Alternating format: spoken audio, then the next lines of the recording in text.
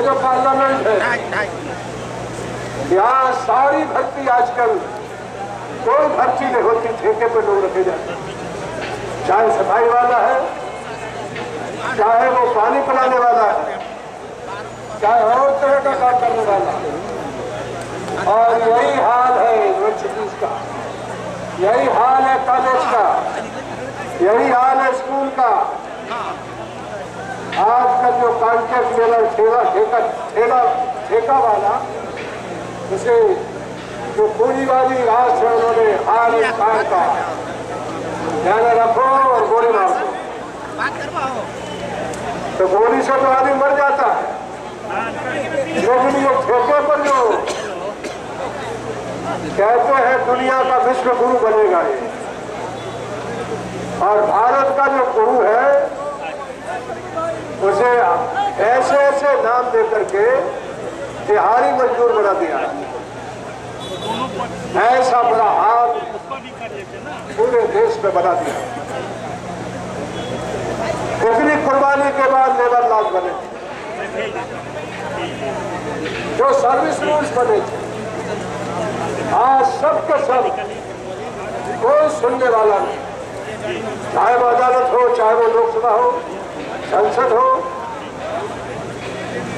दूसरी तरफ़ जो संविधान में जो कमज़ोर तबके के वंचित समाज के लिए हक निकले हुए जब कॉन्ट्रैक्ट लेबर लगेगा ठेके पर टीचर लगेगा तो जो हक दिया था संविधान ने जो हिंदुस्तान के सदियों से वंचित समाज के लोग हैं उनका हक भी मारा गया। जो सर्विस रूल के अनुसार चाहे राज्य सरकार हो, चाहे भारत सरकार हो जो लेबर लॉज है। उन सबको हटाने का एक तरीका निकाला है कि आप एडहाक रखो। एडहाक का मतलब है रोज दिहाड़ी पर रखो। और दिहाड़ी वाला हमारा जो देश है, वो दिहाड़ी वाला जो जनता है। वो जब तक मज़बूत नहीं होती तब तक नरेंद्र मोदी हो और चाहे कोई प्राइम मिनिस्टर हो दुनिया में कहीं बकवास कर रहा है जब तक देश अंदर मज़बूत नहीं होगा भीतर मज़बूत नहीं होगा किसान मज़बूत नहीं होगा मजदूर मज़बूत मज़बूत होगा जब तक मास्टर टीचर वो समझ मज़बूत नहीं होगा तब तक दुनिया में देश मज़बूत हो नहीं सकता। क्या हाल है पूरे देश का? चारों तरफ़ कोई इस देश को धर्म मानने को तैयार नहीं और दिन भर प्रधानमंत्री सुबह से शाम तक आजकल आजकल आपका धंधा यानी टीचर बन गया। टीचर बन के पढ़ा रहा। अभी आया था, एक जगह देखा कि यानी टीचर और पढ़ाई और बच्चे को बता रहा कैसे क्या करना चाहिए। यानी इसके लिए बिठाना चाहिए। जो किसान है मजदूर हैं। हर तरह से हर तबका, उद्योग, धंधा, सब ठप है।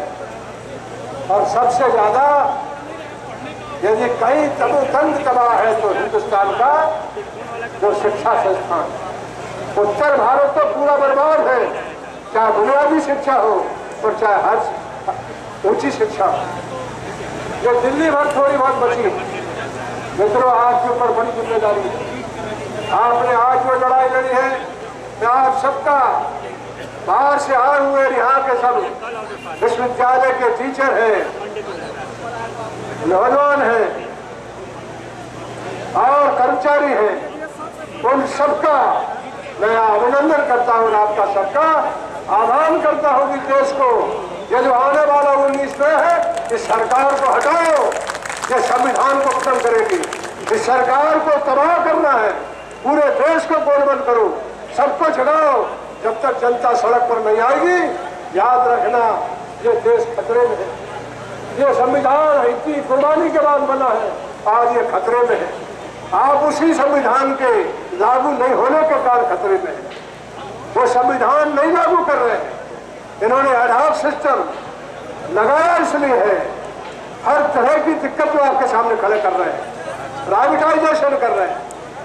यानी कॉलेजों को पूंजीपतियों को देने का योजना बना रहे हैं। शिक्षा नीति का तबाह और बर्बाद करने का काम कर रहे हैं। इसलिए आप समाज के आगे बात हो।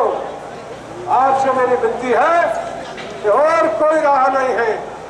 ये सरकार इसे कोई मतलब नहीं है, ये सिर्फ़ हिंदू और मुसलमान करती है। इसे दिन भर अंध मंदिर, मस्जिद दिन भर ये चिमटा बाबा, घंटा बाबा, बाल्टी बाबा, चारों तरफ़ निकले हुए हैं। इनने नाश करने का काम किया है देश को इस आज़ादी के लिए जो कुर्बानी है, वो सब खतरे में है। इसलिए हम सबको भी तैयार होना चाहिए। अब तो आर पार का जंग तैयार होकर के बनाइए। आज जो आप आए हैं, मैं आपका अभिनंदन करता हूँ। मुझे और प्रोग्राम में जाना है। मैं आपके बीच में हाजिरी लेकर के और आप सब लोगों के बीच में आपने जो संग्राम और ये आज की लड़ाई है। इसके लिए आपको मैं बहुत बहुत क्रांतिकारी सलाह देता हूँ।